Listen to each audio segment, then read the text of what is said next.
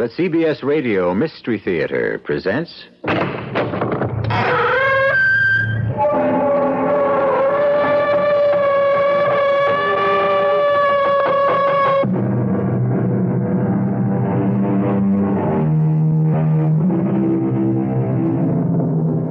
Come in.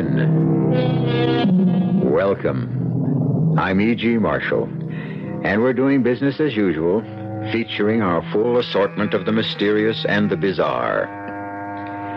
Quis custodiet ipsos custodes? Who shall guard the guards? Or, to take it a step higher, who shall judge the judges? This was a problem that plagued the ancient Romans, and obviously it remains with us to this very day. And actually, the act of judging is a highly hazardous affair because the book warns us Judge not, lest ye be judged. And so, between the necessity to judge and the admonition not to do it, we human beings are in a constant state of doubt, which is not the worst thing in the world. Hold! Hold on there. What you want? What are you doing with that pistol? That's hardly your affair, Mr. Lincoln. A man prowling about at night holding a loaded pistol is certainly an object of curiosity. Only to those that don't mind their own affairs. I consider the safety of the community to be very much my affair, Mr. Barnes. You'll oblige me by handing over that pistol. And you'll oblige me by going about your own business, Mr. Lincoln. I'm afraid I'll have to take that pistol. I'd advise you not to try it. Hand it over, sir. I warn you, not another step.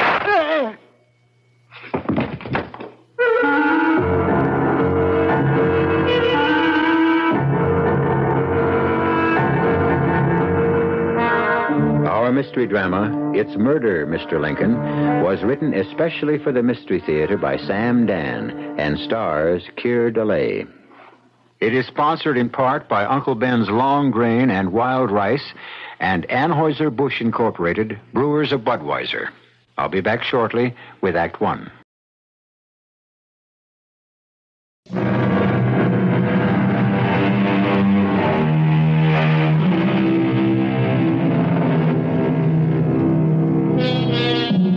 When conditions are bad, we Americans always spend a great deal of energy not in finding a solution to the problem, but rather in deciding what to call it.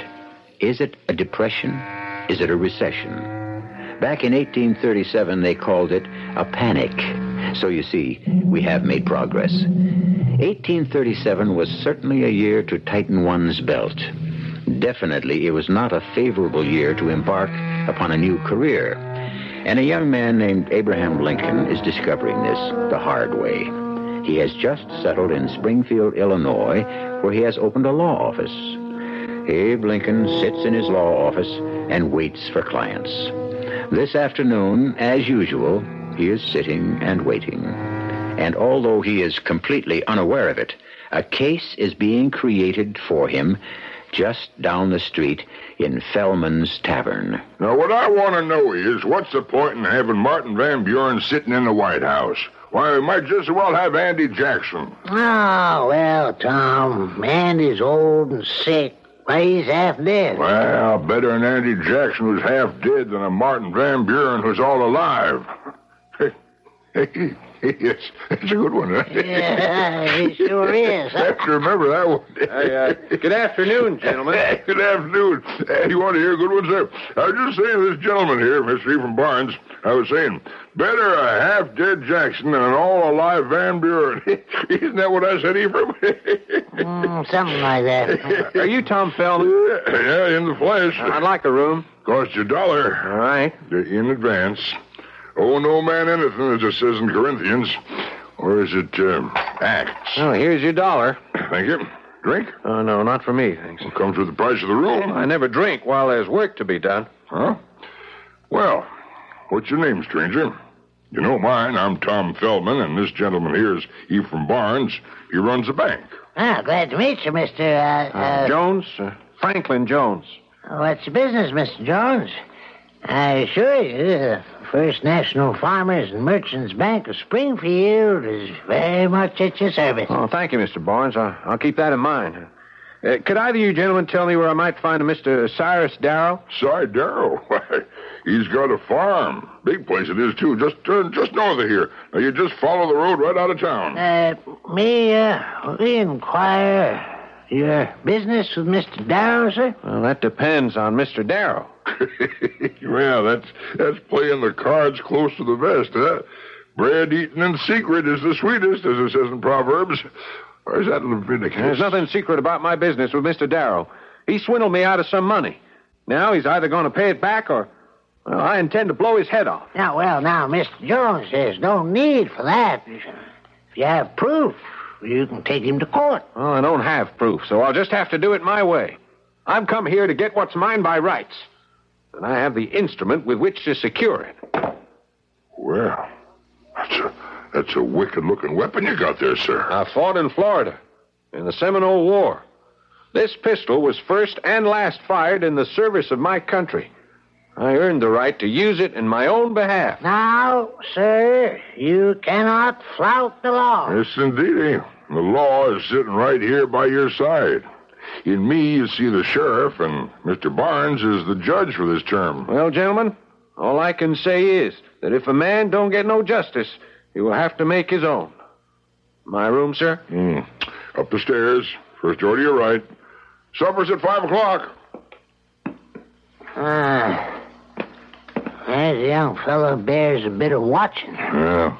I pity him if he goes up against old man Darrow. Cyrus will just chew him up and spit him out. Wicked looking pistol, that. Hmm. You know, I'm not a wagering man, Ephraim, but if it was, I'd lay my money on Cyrus Darrow. Poor fella. Seems kind of young to die after surviving an Indian war and all.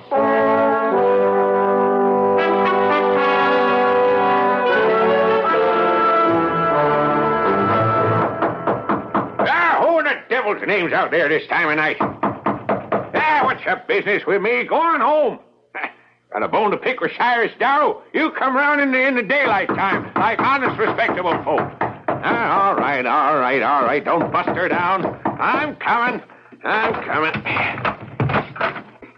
Oh, well, so it's you, eh? Come whining around to see if I'll leave you off the hook, eh? Well, you can hang there and squirm till I'm good and ready to. ah, you think that pistol can scare me, eh? You ain't man enough to. Uh, come on now, hand it over before I make you chew it up. Oh, oh, oh you yellow bellied.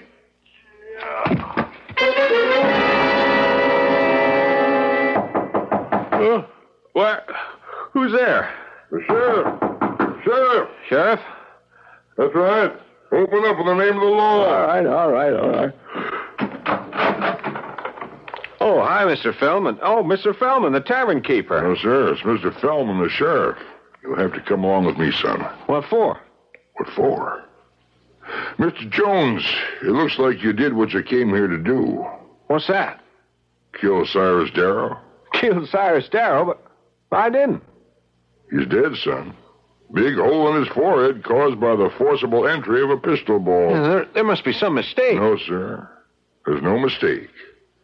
This here, this your pistol? Of course it's my pistol. It was found 50 yards away from Cyrus's house. No, you couldn't have found it 50 yards away because... Because? Well, be- it can't be my pistol. I, I remember I put it back in my bag. Yes? Yeah. Hey.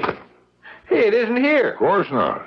How could it be in that bag and in my hand at one and the same time? I, I never... I didn't... Mr. Jones, as sheriff of Springfield County, I hereby arrest you for the murder of Cyrus Darrow. What? And may the Lord have mercy on your soul. What are you saying? Well, that's right. That's right. I shouldn't say that just yet. After all, you ain't been tried.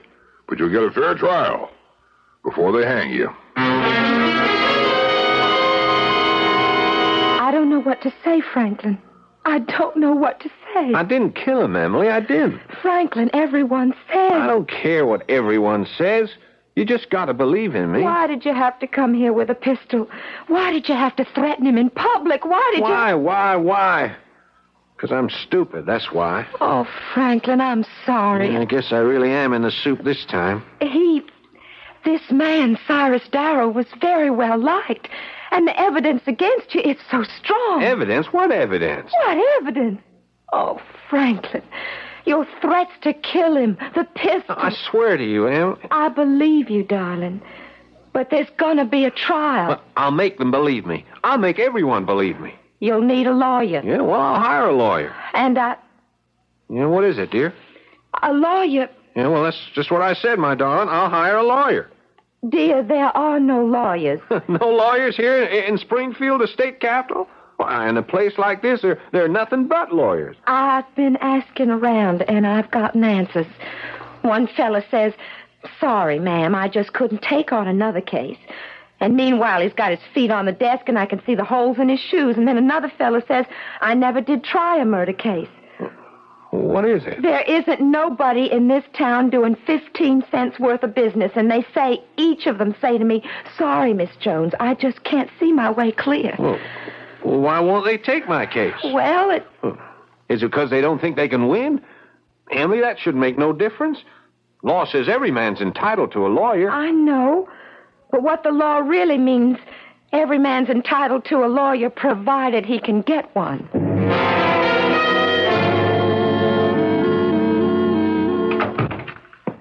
Yes, ma'am. Are you Judge Barnes? Well, uh, here in the bank this week, I'm Mr. Barnes. I don't start being Judge Barnes till next week. Uh, now, uh, whom do I have the pleasure of addressing? My name is Jones. Emily Jones. Mrs. Franklin Jones. Oh, Judge, my husband can't find himself a lawyer. well, surely, Miss Barnes, in all of Springfield, there must be somebody who, uh, Who don't mind ruining his reputation? Now, Miss Barnes, lawyers don't see things that way at all. Then how does it happen no lawyer's willing to defend my husband? Well, it's a busy time. How busy? Look at your bank. Ain't a soul in here except you and me. Yeah, well, uh, Well, what, sir? People going broke left and right, nothing being brought in or sold, no contracts to draw up. What are all these lawyers doing? Well, I'm sure if if you look around. I looked. I looked everywhere. And everybody's turned me down. Everybody? Everybody. Ah. Hmm. Have uh, Have you spoken to a man named Lincoln? Abe Lincoln? Abe Lincoln? No, the names ain't familiar. Well, why don't you give Abe a try? He's the kind of lawyer take any case he can get. Well, I must say, Judge, that don't sound like a very enthusiastic recommendation. Well, ma'am, uh, it's the only recommendation I can give you.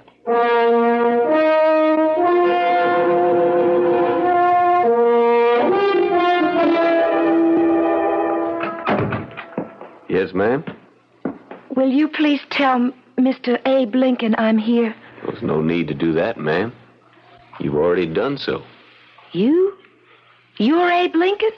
Plea is guilty, ma'am. Now, to whom do I have the pleasure of. But uh, you don't. I know I don't look like a lawyer. Well, the fact is, I don't look very much of anything else either. Well, I. Won't you have a seat, ma'am? Now, uh, I. I, uh. My name is Emily Jones. My husband, Franklin. were you named after Ben Franklin? Yes, sir, I believe so. The great man. Yes, sir. He, he, my husband, is going to be tried for murder. Yes, I know. And I need a lawyer. Well, you've come to the right place. You mean you're willing to defend him? I'm ready, ma'am. Well, that may be, but I've got to ask you about your qualifications. How many murder cases have you tried? Uh, how many? Uh, to be exact, ma'am, none. None. Uh, Miss Jones, a fella has to start someplace. Well, but not with my husband. Well, I do have one qualification. Matter of fact, it uh, could turn out to be the most important qualification of all. What's that? I'm the only lawyer in town willing to take the case.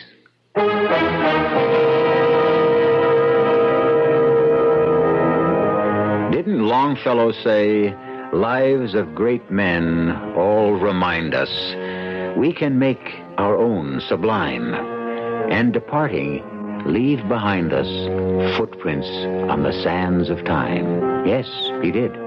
However, what we should realize about the lives of great men is the fact that most of them weren't always great. Can you imagine being unhappy to have Abraham Lincoln as your lawyer? I'll return shortly with Act Two.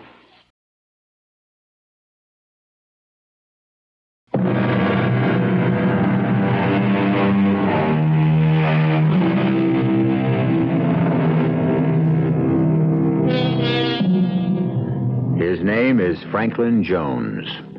Right now, he is in the jailhouse in Springfield, Illinois, in the early autumn of the year 1837. He is accused of murder. His prospects are bleak. The betting is better than 10 to 1. He'll feel a rope around his neck before the month is out. The odds have not been lowered by the fact that his lawyer is a young man named Abe Lincoln. And who was in the tavern when you came in? Uh, Mr. Fellman, uh, Mr. Barnes. No one else? No, no one else.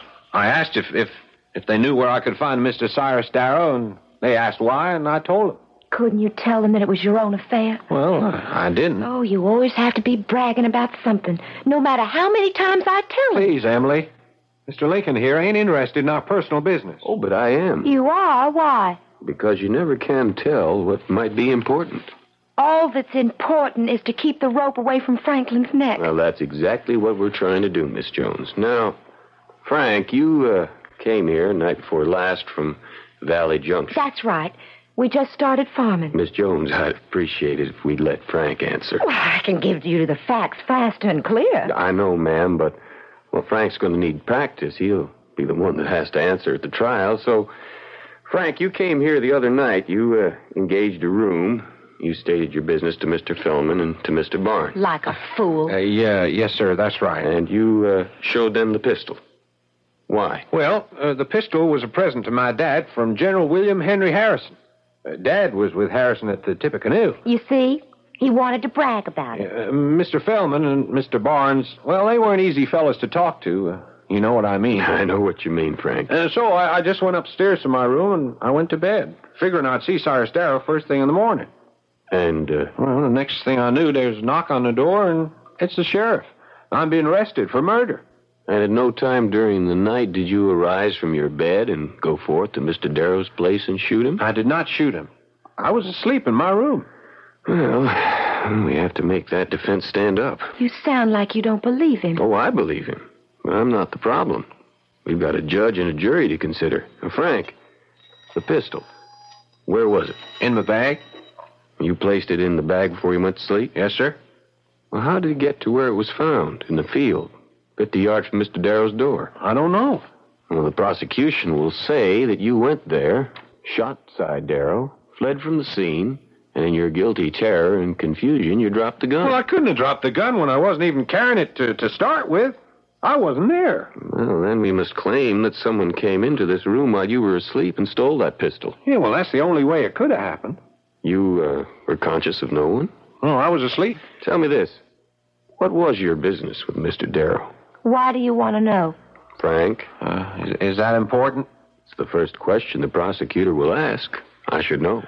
Oh, all that was before he was killed. and- Frank, Well, I enlisted in 1829. 1830. Oh, yeah, 18, yeah, that's right. And, and I served in Georgia and Florida. And, and when I wanted to marry Emily, well, you don't get married on sergeant's pay. Oh, not to me, you don't.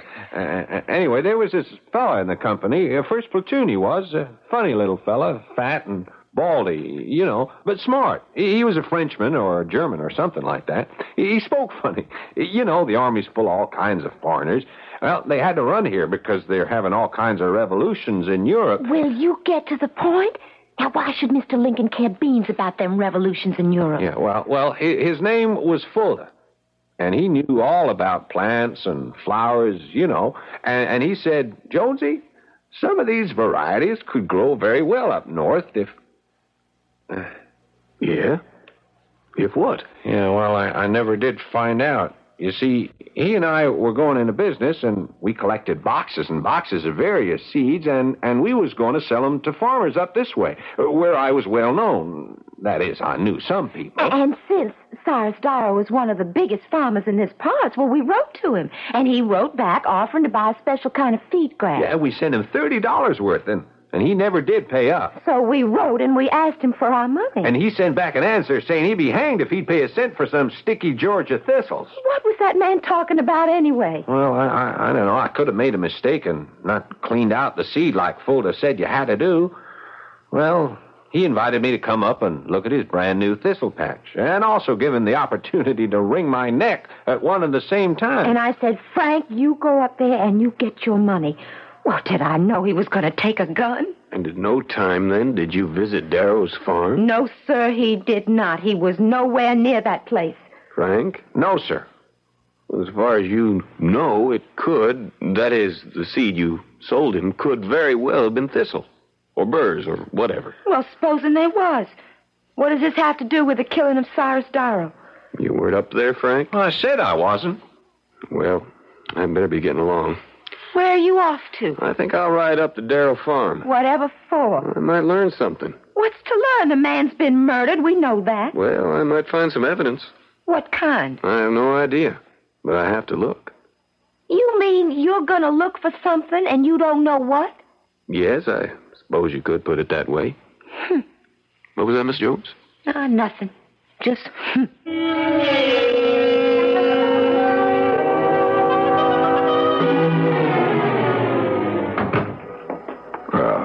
Abe. How are you, Tom? Fine. Now.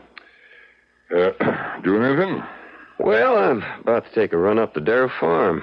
Maybe some evidence. Mm-hmm. Yeah. Evidence. Uh, evidence of things not seen, as it says in Leviticus. Hebrews. Yeah. Yeah. Uh, leaving soon? Well, I'd like to get back before supper. Hmm. You've, uh, you've taken the Jones case. Yep. I was retained this morning. Um, well, Abe, you think that's wise? Wise. I'm a lawyer. Well, you have to. Well, you have to think of your career. You know, you gotta lose that case. It's plain as a cabbage on a rose bush. The boy's guilty. Isn't that why we're having a trial? No, we're having a trial because the law says he's got to get one. Well, you know what the verdict's going to be. Tom, I'm surprised at you. No, no, Abe. You're you're the surprising one. Now look, you can't win. If you lose, you look bad because you're a loser.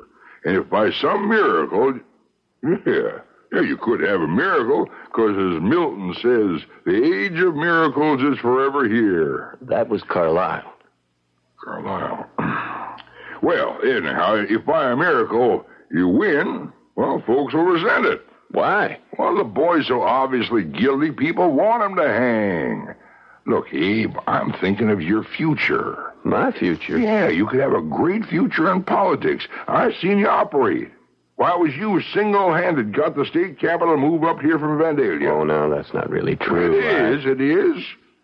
Now, Abe, you, you could go far. Oh, no, no, no, not, not, not me. Now, why do you say no? I just don't look like a politician.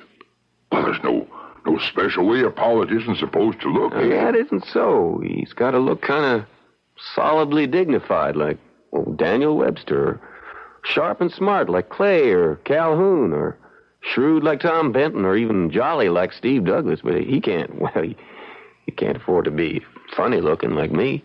Well, I I wouldn't say he was all that funny looking, Abe. I'm too tall, too thin, and I'm too bony and gawky. Ah, but you got all the brains. Well, brains alone was never enough. Abe, Abe, is there some way you could get out of trying this case? No, I mean it for your own good. Cy Darrow was well liked. I wouldn't get out even if I could, Tom. Cy was very well liked, and folks are mad. You think about that. Well, there's nothing to think about. Well, just thought I'd paint you a picture. After all, as William Shakespeare said, forewarned is forearmed. No, that was Miguel Cervantes.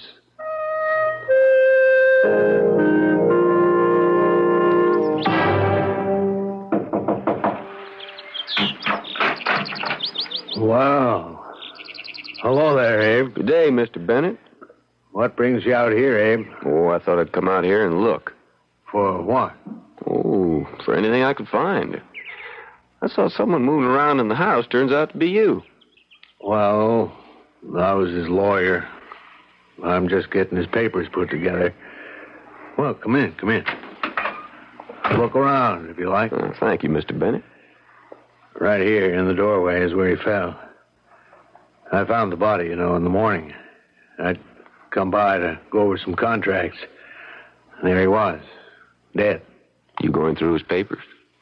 Mm, I'm trying to. Mm-hmm. Anything missing?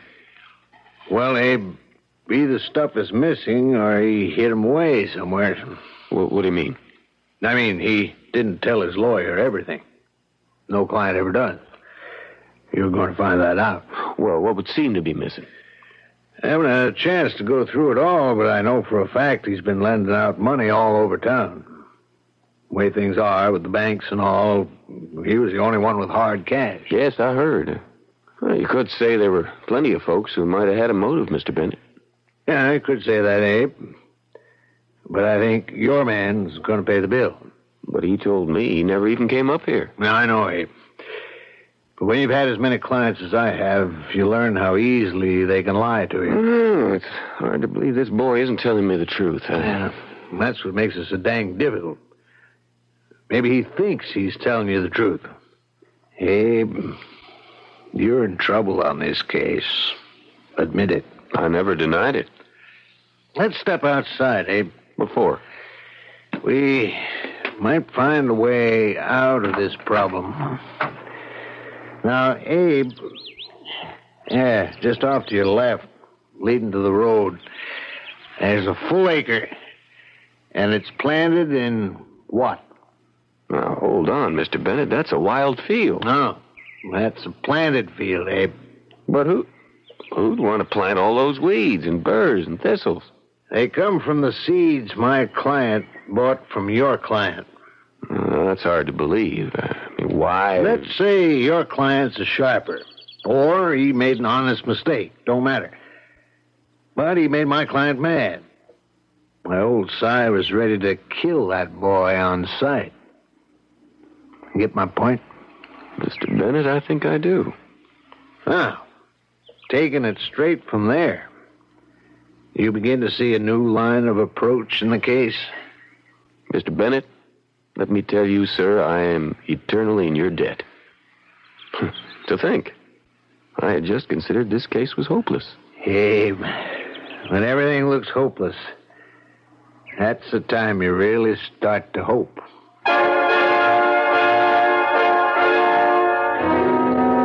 And of course, that was a lesson that Abe Lincoln never forgot. Certainly in the years to come, he would be faced with more apparently hopeless situations than almost any other president. But our concern is with the case in hand. And what is the light that has suddenly dawned? Well, that will all be made visible when I return in just a few moments with Act Three.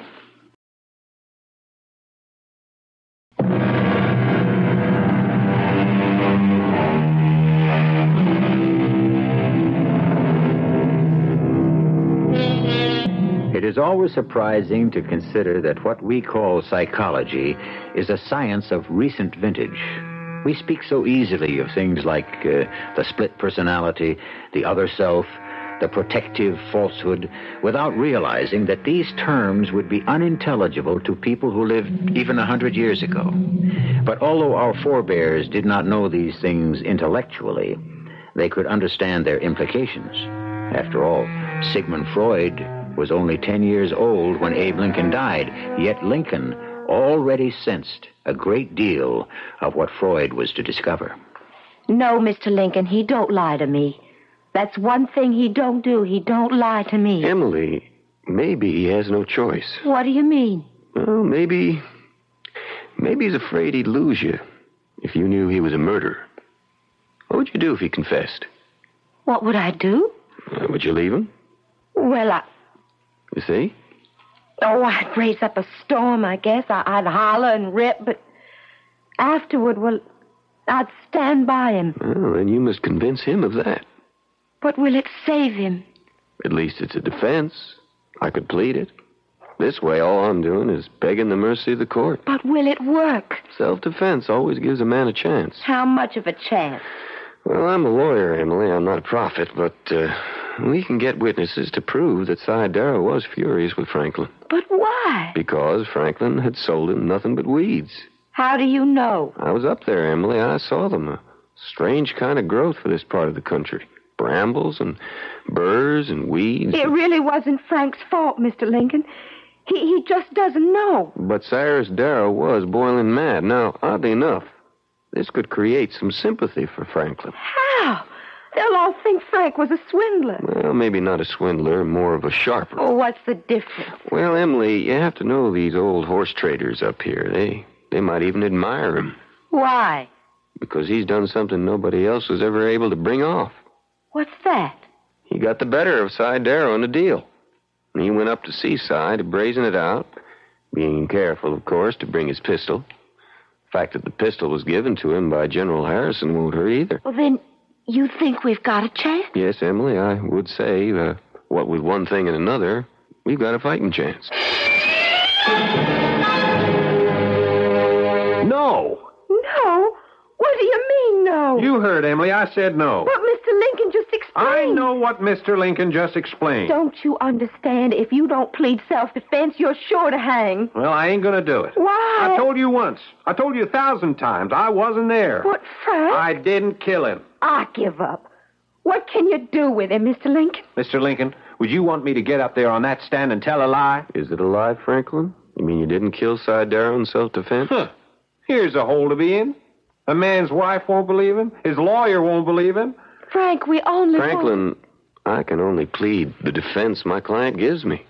Since I wasn't at the scene of the crime when the murder took place, I don't know what happened. Well, I don't know neither. I wasn't there myself. I was asleep in bed in my room at Fellman's Tavern. But, Franklin, nobody's going to believe that. Well, ain't that what I got a lawyer for, so we can make folks believe me? Or is this case too tough for you, Mr. Lincoln?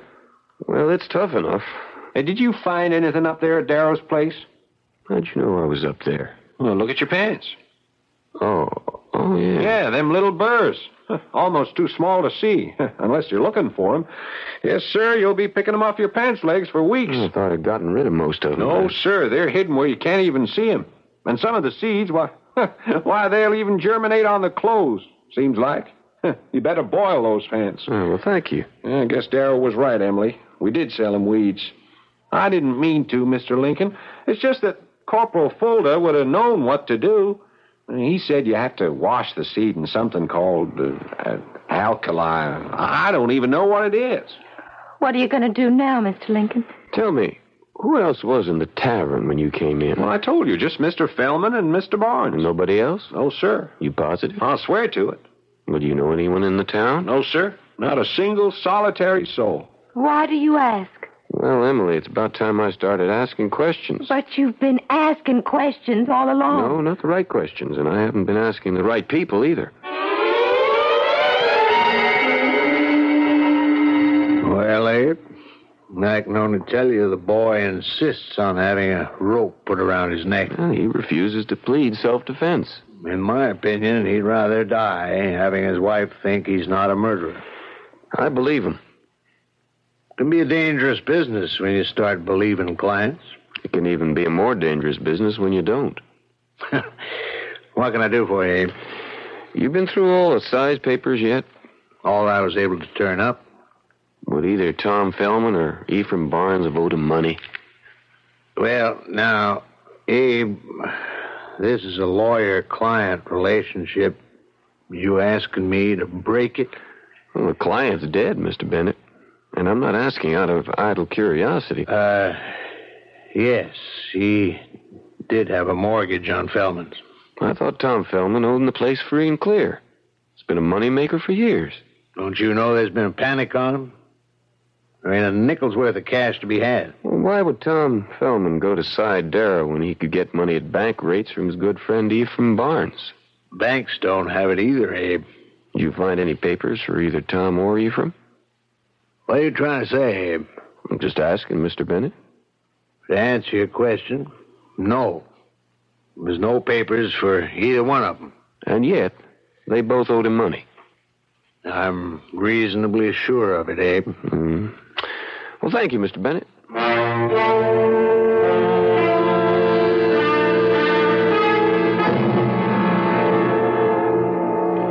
Afternoon, gentlemen. Well, Abe, Well, afternoon, Abe. have a drink.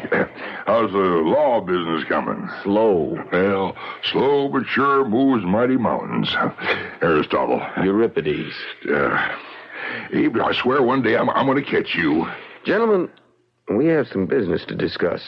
They discuss business at my office only. This is legal business, Ephraim. Then I'd rather discuss it at your office. It has to do with the upcoming trial of Franklin Jones. In that case, I don't discuss it at all. I'm scheduled to be presiding judge, you know. I don't think so, Ephraim. Well, what are you saying? You can see the calendar. I'm going to ask you to disqualify yourself, Ephraim. What are you saying, Abe? Eph here's one of the finest judges. Abe, don't you believe I'm a fair man? It's nothing personal, Ephraim. Well, then why... uh, Well, to begin with, you're a material witness. who is? You are. You and Tom here. You're the ones, the, the only ones who heard Tom ask for the whereabouts of Cy Darrow and who heard Tom threaten to kill him. Yeah, well, uh, Well, you can't be a judge and a witness at the same time, can you? yeah, but you... Besides, there's more to it than that. What are you driving at, Abe? Well, my client insists that he's not guilty. Well, now, you wouldn't expect him to admit it now, would you? Yes, if he were guilty, I would, especially since I found a way he could plead guilty and still save his neck at the same time. What's that? Self defense. Old Cy was boiling mad at him, mad enough to kill him. But the boy refuses to take that defense, which proves to me that he's a young man of his word, and I have to respect that word. Abe, Abe, if Franklin Jones didn't kill Cy Darrow, who in thunder did? Well, we'll have to sit down, the three of us, and reason together. If Franklin didn't kill Cy, who did? We know somebody did because Cy's dead. I'd like you to come straight and tell me exactly what you're driving at, Abe. Well, it couldn't be suicide. After all, how would Cy get a hold of Frank's pistol? Well, what motive would Cy have for doing away with himself? None. But you can't be too careful in these things. You have to explore every possibility. Yeah, but you also have to be headed someplace. Don't be impatient, Ephraim. I am. So if it wasn't Frank, who else could it be? Who else knew Frank was in town? Who else knew Frank was mad enough to go to Cy's place with a pistol? Who else did even know that Frank had a pistol? The answer? Either one of you two. Well, hold, hold on there, Abe. Are you saying that Eph here, or me, could have killed Cy Darrow? Huh? Well, Abe, Abe, I am your best friend in town. How could you even think? Abe, I- I thought you was always a man of good sense. But this is monstrous. Have either of you gentlemen been up to see Cy lately?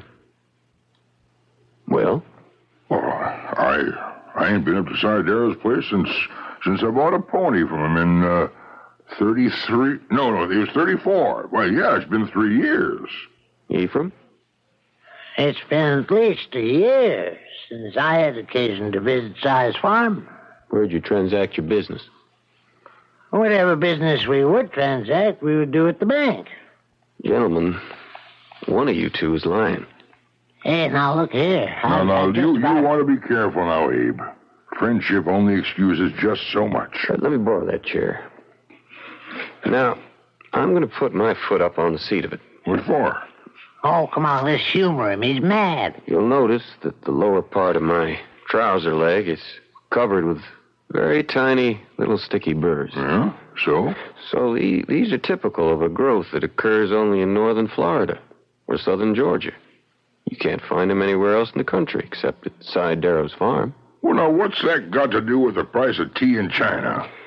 They grew from seeds sold to Darrow by mistake by Franklin Jones. I still don't see what you're driving at. I was up there just before. That's how they got all over my pants leg. Now, will uh, each of you gentlemen uh, please place his foot up on the chair? I'll be hanged if I do. Is that a prophecy, Ephraim? Eph. Eph, them, them little burrs, them sticky little burrs. You got 'em on your. Ephraim, if you wasn't up at the Darrow place, How'd them little burrs get all over your pants? I, I pour me a drink, Tom. Eph. You was always you was always an honest man. Yeah. For 50 years, I've been honest as the day is long. And where did it get me? I didn't speculate. I didn't hedge. I guarded my customers' money. And I got wiped out. I had to borrow from Cy. And he was going to take away my bank. Well, this boy came marching in here and And you decided to steal his pistol and kill Darrow yourself. Well, it wasn't that clear cut, you know. It just worked out. And I found my notes and destroyed them. Yours too, Tom. Ephraim, a man like you, could you really let that boy hang for you? Could you? Abe, I, I like to think that in the end, I wouldn't let that boy hang for me. I'd like to think that. Would your conscience let you? Conscience. Abe, when you face the rope, you know the saying, conscience does make cowards of us all. Cervantes. No, Shakespeare. You're a good lawyer, Abe. Would you defend me? Ephraim, you mean you want me? Why, you could have anyone, even Stephen Douglas. I want you, Abe. Nobody but you. Thank you, Ephraim. I'm grateful. I'm humbly grateful.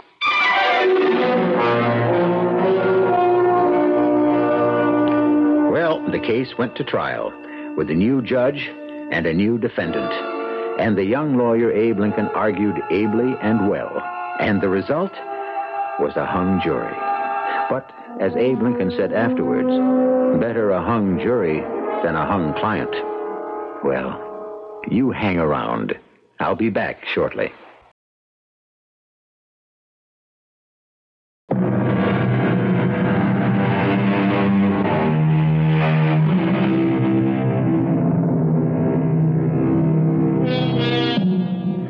Franklin and Emily Jones, Tom Fellman, Ephraim Barnes, they are all obscure footnotes in the book of Abraham Lincoln's life. And yet, these are some of the nameless, unknown people who helped shape his character. All around us are young men and women whom we, in our anonymous fashion, are also molding by our precept and by our example. And we are molding them into what? Think about it. Our cast included Keir Dullea, Jennifer Harmon, Paul Hecht, Joe Silver, and Robert Dryden. The entire production was under the direction of Himan Brown.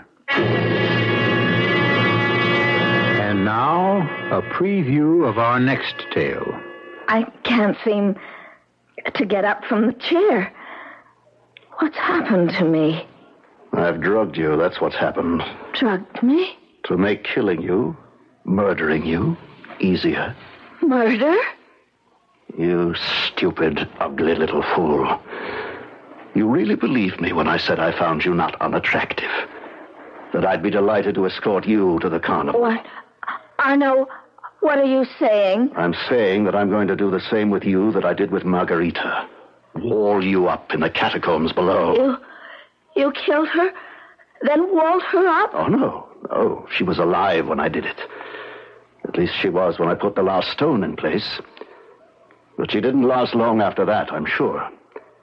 It couldn't have been more than an hour or so before she suffocated to death. Radio Mystery Theater was sponsored in part by Buick Motor Division and Sine-Off, the sinus medicines. This is E.G. Marshall inviting you to return to our Mystery Theater for another adventure in the macabre. Until next time, pleasant dreams.